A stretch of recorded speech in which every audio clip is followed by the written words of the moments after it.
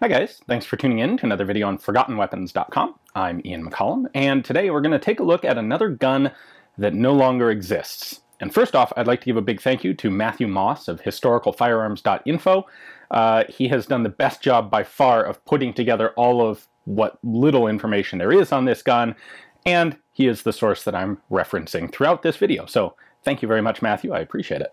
Now, the gun we're going to, to discuss, I almost said take a look at, but there isn't one. Um, to the best of my knowledge, none of these guns actually exist today. There probably was only one ever in existence, and that is the Maschinengewehr des Standschütze Hellriegel, uh, or the machine gun from reservist Hellriegel. Uh, the only information about these consists of a couple of photographs that came out of uh, an Austrian military archive. They're dated October of 1915.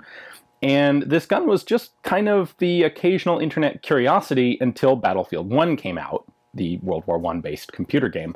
And uh, the guys behind Battlefield 1 decided to integrate this weapon into their game, and as a result, it is now a name widely known among gamers, and thus something that uh, comes up quite often. I get a lot of people asking about it. So I figured since I'm never actually going to encounter one of these for real, since there are none, uh, there's no reason not to talk about it right here in the comfort of my own office without having one. So, uh, like I said, these the photographs that exist, which are the sum total of what we know about this thing, basically all of the information that we have is extrapolated from these photographs. They were dated uh, October of 1915, and they show what appears to be the gun in testing.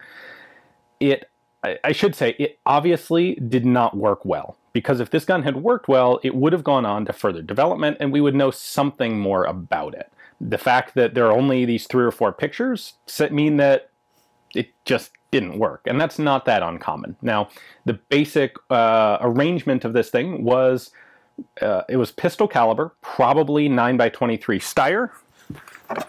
That's what the Austro-Hungarian Empire was using as their standard pistol cartridge at the time, although it is hypothetically possible that it could have been in 9mm Parabellum. It could have been in 9mm Hellriegel or 8.32mm Hellriegel or really anything else. We just don't know. Um, it was. It appears to have been a fully automatic weapon uh, because it does have a rather a very large magazine capacity, and a lot of people describe it as like an early submachine gun which kind of makes sense. However, it was a water-cooled gun. You can clearly see a fill point on the water jacket. Uh, it has this kind of interesting sort of curved tubular, almost reminiscent of guns like the um, FN F2000, the tactical tuna, uh, grip on the bottom of the water jacket that you can see the, the shooter holding in one of the pictures. And it had, to, so I should say, almost certainly a blowback operated firearm, assuming it was in something like 9 Steyr, that would make it relatively easy to manufacture a water cooling system because the, the tricky part of a water-cooled barrel is sealing where the barrel goes through the jacket because the barrel typically has to move. On a gun like a Maxim or a Vickers gun, that barrel is recoiling back and forth with each shot. And so you had to go to some length to get a properly fitted seal at the front and back of the barrel where it's moving. If you have a blowback uh, pistol caliber weapon like this, the barrel can be fixed, and then it's really easy to seal the, the water jacket around the barrel. So that's almost certainly what they did there. And then it was fed uh, in two different potential ways. One was a stick magazine, and you can see a couple of those in the one photo. The other is a drum magazine, which you can see in several of the photos.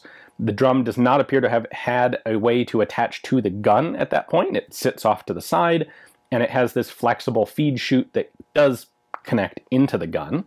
Um, just based on counting and estimating from the size of the drum, it's about 160 round capacity. So a lot, but that makes sense given the belt fed machine guns of the time, which are typically fed by 250 round belts. So if reservist Hellriegel was trying to design a new weapon and one would presume that he came up what he wanted to come up with was probably taking a heavy machine gun and making it man portable. So he reduced the caliber so that uh, the recoil was handleable, so that the weight of the gun was much much reduced. Uh, and then presumably came up with a gun that would be either fired from a fixed position, like a standard heavy machine gun, or could be picked up and carried on the move and fired from the shoulder with a stick magazine, like like you see in the pictures. It's a cool idea. Um, and it is actually very reminiscent of like what the Germans would do with the MG 08/15. Same sort of idea. Take the heavy machine gun and make it man portable, make it something that troops can actually carry in a dynamic manner and use in an assault um, on a trench or other position, rather than uh, having a bolt action rifle and the machine guns all in the back where they can't really do you any good. So uh, it seems like a cool concept. The, in fact, the concept checks out. The idea is pretty cool. Clearly, it did not work. As I said at the beginning, if this thing had run reliably, we would have seen it developed further, or at least had had more record of it. Uh, a couple other things to point out. You'll see there is an assistant gunner in one of the pictures with a backpack that has a couple of nice little slots for drums. That's something very typical of World War One. Uh, you would see that with French Chauchat gunners, where the both the gunner and the assistant gunners carried backpacks of magazines. Um, with the MG 08/15, there were crates to carry those drums because they were a little bit weird and bulky for backpacks. But that backpack concept certainly makes sense. Uh, and for a gun like this, you would absolutely have a crew. This isn't an individual sort of thing, and that may be something that a lot of people don't recognize about um, the, the tactics that developed by the end of World War One. They were all teams, four, five, six, or larger uh, teams of soldiers, each with a different role. So, uh, for example, with the MP-18s, you would have one guy carrying an MP-18 submachine gun, and you'd have a couple guys carrying drums for him because you weren't reloading those in combat, and they were depleted fairly quickly. And so you had ammunition carriers basically who would have a, usually a, a, basic weapon, a, a bolt action rifle, and their primary job was to carry ammunition to supply the guy with the machine gun. So that backpack with the Hellriegel, that's the sort of thing you would expect to see.